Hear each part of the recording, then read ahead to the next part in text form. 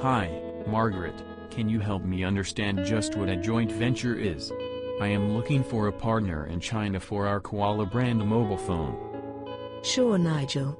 A joint venture is when two or more independent businesses join together for the sole purpose of achieving a specific outcome that cannot be achieved by any one of their firms alone. It is a popular form of international market entry, which involves higher risk but gives you greater control.